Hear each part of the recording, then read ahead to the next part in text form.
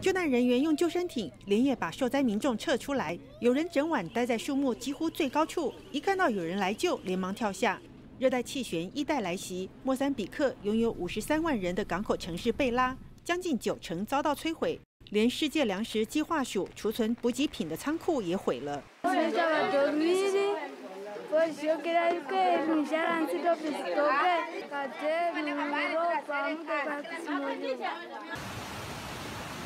而在辛巴威靠近莫桑比克边界的山区小镇奇马尼马尼，灾后和外界断绝联络。民众放到网上的画面透过通讯社传出来，滚滚洪水冲毁道路，许多居民站避高处，目前情况不明。至于外国传媒很少关注的马拉维，也是首度有灾区画面传出来。So far, the government has provided food. It is also providing shelter, and in collaboration with some partners, also trying to provide.